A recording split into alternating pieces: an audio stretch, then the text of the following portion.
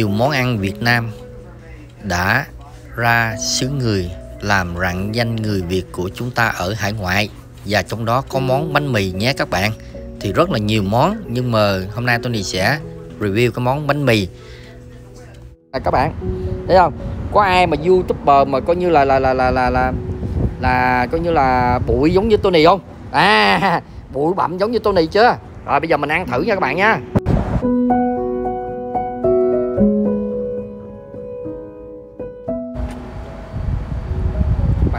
Ờ, đu đủ rồi. À.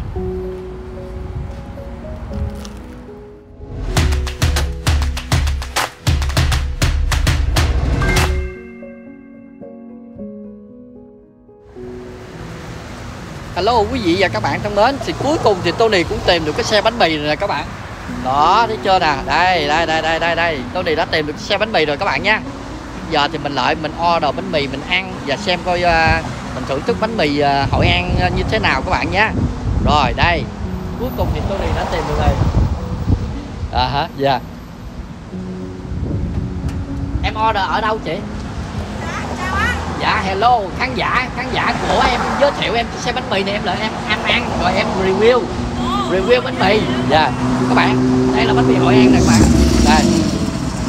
Bạn thấy đẹp không? Đó. Bây giờ em order ở đây hả? Ờ các bạn ơi các bạn à. À cái xe này nó đẹp quá các bạn đây. À, không design rồi đẹp quá các bạn ơi. Xe này chắc mắc tiền lắm nè không biết bao giờ Tony mới có tiền để mua được chiếc xe như thế này các bạn ơi. À bên kia các bạn các, các bạn nhìn bên kia nó có chữ cơm tắm tây đô vậy ăn bao ngon rồi à, bao no gì đó các bạn. Đó các bạn thấy không đó? Kìa. Đó đó. Cái tay của Tony chỉ ở phía bên đó đó các bạn. À dạ yeah đây bây giờ trước khi order thì Tony sẽ cho các bạn xem một vòng cái chiếc xe này các bạn nha. Đây là cái ờ, mơ ước của Tony đây. Hy vọng sau này Tony có tiền Tony sẽ làm một cái chiếc như thế này. À, xe đẹp quá ha các bạn ha. Ở đây nó cũng dễ tìm các bạn. Nó nằm gần cái khu Hồng Kông 4 này chút xíu nữa thì Tony sẽ vào khu Hồng Kông 4 Tony mua chả cá mua bánh bao rồi đó rồi Tony cũng làm một cái video nữa. Đó thành ra khi mà các bạn xem hết cái video này thì các bạn ờ, bấm qua cái video kế tiếp nha mình sẽ review cái khu Hồng Kông 4 cái khu người Việt Nam của mình trong mùa dịch này nó như thế nào. À, nó có bị ảnh hưởng bởi mùa dịch hay không? Đó thì đây là xe của bà xã của Tony nè. Hôm nay Tony chạy xe của bà xã Tony. À ha dạ. Rồi thì bây giờ mình sẽ đi vào order đây. Đây. Ây da. Đây nè các bạn cái menu này các bạn. Đó. Cũng rẻ lắm các bạn ơi khoảng à, 4 đô la 4 đô la rồi à, ba đồng rưỡi, ba đồng rưỡi đó. Các bạn đâu nè cũng không đến nổi nào đâu các bạn nha. Rồi. Cho em order chị ơi. Đặc biệt bánh mì ba miền. À bánh mì ba miền. Bánh bánh mì ba miền cho em hai ổ. Dạ dạ rau ớt đầy đủ. Dạ dạ dạ dạ. Đó, bánh mì ba miền nè các bạn. Đặc biệt đó các bạn. 4 đô la thôi, quá rẻ đúng không các bạn? Quá rẻ nè. Đó đó có cà phê nữa nè các bạn. À, chắc là người chủ này là người Hội An quá cho nên à, có cái tên là bánh mì Hội An nè các bạn nhé à, ha, dạ. À, dạ không được rồi. À, em, em mới uống rồi hồi nãy thành ra giờ em có nước lạnh trong xe rồi. Dạ dạ. Dạ.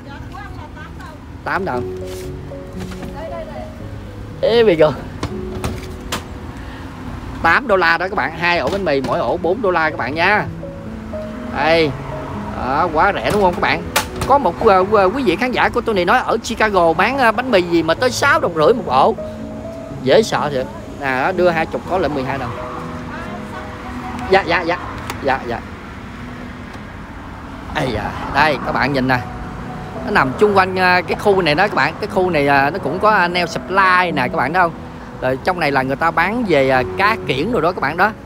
Đó nếu bạn nào chưa biết cái vị trí này thì các bạn có thể uh, xem chung quanh cái video và biết nha. Đây cái này là phía sau của chiếc xe này các bạn đẹp quá. Ở đây người ta cũng design đồ dữ dằn lắm các bạn đâu nè? Dạ, vâng đó, rồi người ta người ta câu điện vô đây nè các bạn. Đó câu điện vô trong này nè. Thấy chưa? Được dây điện nè. À đây the world famous Vietnamese. Đó các bạn thấy gì chưa? À, không hổ danh là người Việt Nam của chúng ta. Trời ơi tự hào quá các bạn ơi.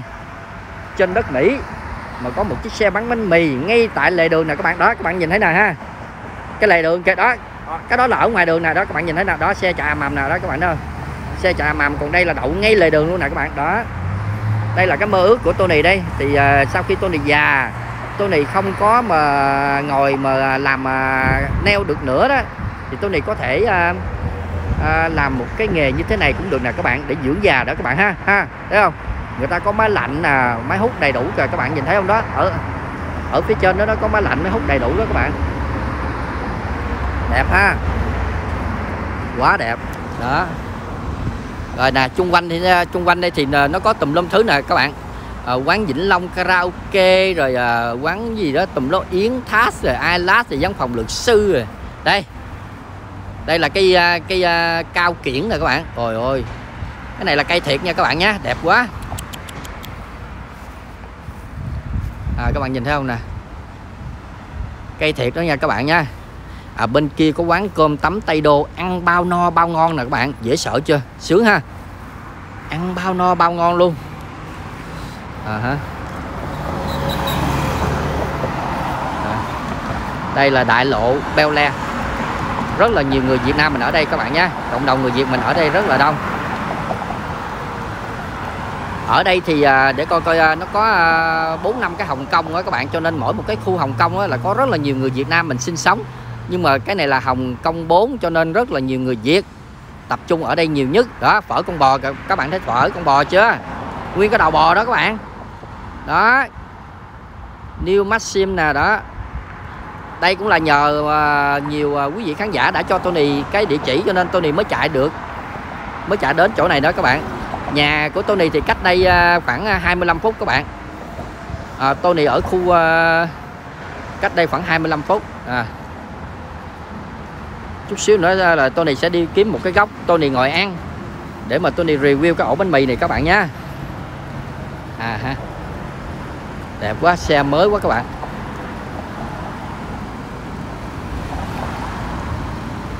Nếu mà có quý vị à, và các bạn nào đang xem mà các bạn có tiền dư các bạn có thể à, à, cho Tony mượn để Tony mở một cái chiếc xe như thế này ở ngay chỗ cái khu vực của Tony được không vậy? À, các bạn có thể à, cho Tony mượn được không? À, mượn mình trả mình trả tiền lời đàng hoàng nha các bạn nha. Mình làm ăn khấm khá là mình trả tiền lời đó. Hoặc là các bạn có thể ngồi trong à, cái ghế hội đồng quản trị à, ở trên cái chiếc xe truck này với Tony đúng không? À thấy chưa? Ý kiến hay không các bạn? À, bạn nào muốn ngồi ở phía à, hội đồng quản trị ngồi ở phía trên này á, thì à, cho Tony mượn tiền nha. Nói giỡn chơi với các bạn cho vui nha các bạn nha. Đây. Đây là cái khu người Việt của mình đây. Ai muốn ăn phở con bò thì vào đây nhá. Không biết chút xíu nữa Tony đi đâu ngồi để mà ăn cái ổ bánh mì này đây nè. Không lẽ vô trong khu Hồng Kông 4 ngồi ăn thôi ha. Ngồi ăn để review lại với các bạn. Hello các bạn ơi thì đây là cái ổ bánh mì à, nó tên là ba miền nữa các bạn. Tôi này cũng không biết ba miền là sao nữa. Nãy giờ anh chủ với cô chủ á, bận biểu quá tôi này à, xin phép được phỏng vấn nhưng mà người ta đang làm bánh mì á, cho nhiều khách hàng á. Cho nên tôi này chưa có phỏng vấn được. Và hiện tại bây giờ thì tôi này đang ngồi lề đường nè các bạn. Đó đang ngồi lề đường. Đó cái xe bánh mì ở đằng đẳng đó các bạn nhìn thấy chưa? Xe bánh mì rồi xe bà xã của tôi, tôi này đậu. Tôi này mua hai ổ. Đấy chưa? Đây mua hai ổ à tôi này chuẩn bị ăn một ổ để review lại với các bạn. Và tôi này đang ngồi ngay lề đường luôn nè các bạn. Thấy không? Có ai mà youtuber mà coi như là là là là là là, là coi như là bụi giống như tôi này không? À bụi bặm giống như tôi này chưa? Rồi bây giờ mình ăn thử nha các bạn nha. Hello các bạn nha. Thì bây giờ tôi này đang ngồi ngay lề đường luôn á các bạn đâu nè? Mua bánh mì lề đường rồi ngồi lề đường để ăn luôn. Đó. Để mà coi như thưởng thức ngay tại chỗ cho các bạn xem luôn cái ổ bánh mì này nó như thế nào nha. Trời ơi, nó bự quá các bạn ơi Chà, bá lửa vậy nè, sao ăn các bạn Bự quá, sao ăn ừ.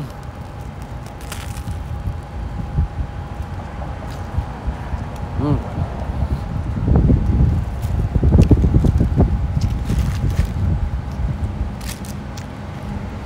Ừ. Cái bánh mì nó giòn mà nó thơm ngon lắm các bạn cái mùi vị bánh mì á tôi này đang nói chưa cắn được miếng thịt, mới cắn được miếng bánh mì không không ngon quá ngon quá các bạn ơi nè, những bạn nào mà có ở vòng vòng khu này á, nhớ lại ăn đi nha, ngon lắm á ừ. Ừ. có cục xíu mại đó các bạn ngon quá ừ. ngon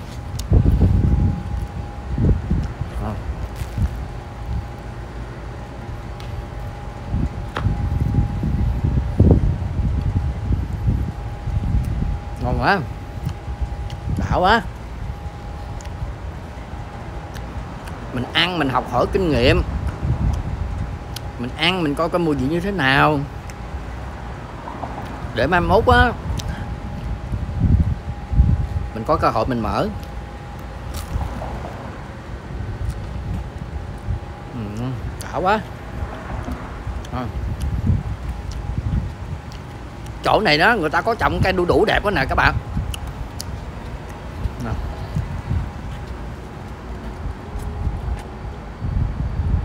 bạn thấy cây ờ, đu đủ rồi à.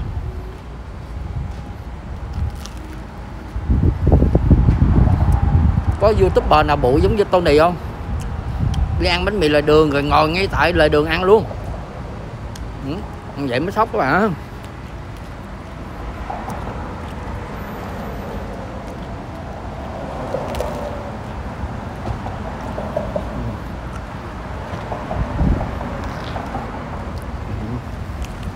ngon quá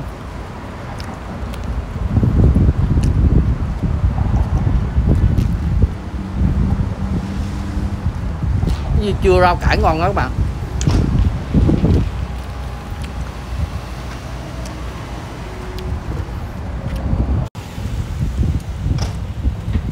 ngon quá các bạn ạ à.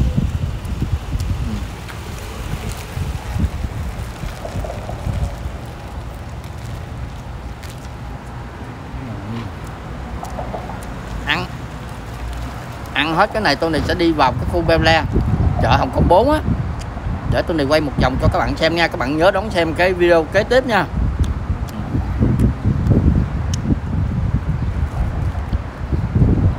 Nãy giờ tôi này có nói chuyện với anh chủ. Anh chủ ảnh ra đây, ảnh đứng ảnh nói chuyện với tôi này nhưng mà ảnh ngại lên sóng. Ảnh không muốn vào video. Cho nên tôi này phải stop lại, nói chuyện với ảnh. Là lý do tại sao mà ảnh có cái à, cái thương hiệu là Hội An bánh mì Hội An thì ảnh nói ngày à, ảnh là đến từ miền Trung ngoài Quế đó cùng quê với bà xã của Tony á. Rồi à, à, có một cái à, người gì á ở ở ngoài Đà Nẵng mới à, có tiệm bánh mì ngoài Đà Nẵng á, nổi tiếng lắm. Ảnh ảnh chia sẻ lại là như vậy rồi dạy cho ảnh cái nghề bánh mì. Bây giờ thì hai vợ chồng mới à, coi như là mua cái chiếc xe truck này để mà à, tạo dựng sự nghiệp bánh mì tại khu Bel này đó các bạn.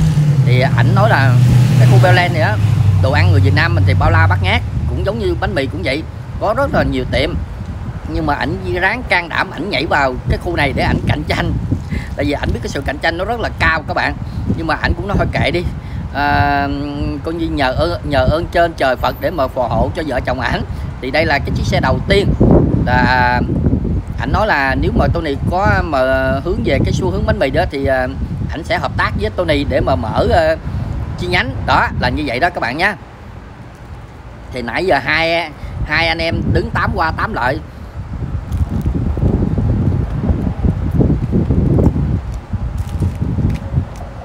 Bánh mì mà nó có lau thơm rồi mà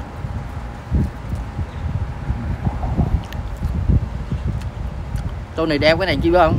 Thứ nhất là lỡ mà không có khẩu trang thì bịt mặt thứ hai lỡ không có giấy cho miệng á, quẹt. Đó, thấy chưa? Model mới của Tony.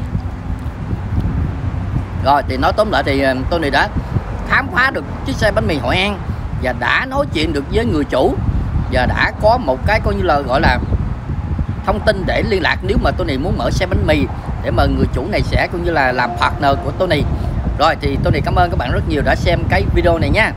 Và hẹn các bạn lại cái next video, Tony sẽ đi vào cái chợ Hồng Kông 4 để review xem coi người Việt của chúng ta, những chủ doanh nghiệp ở trong đó như thế nào buôn bán ra sao, ế hay đắt hay sao sao đó, mời các bạn xem cái next video. Bye bye and have a good day. Để tôi này ăn hết ổn mì này cái.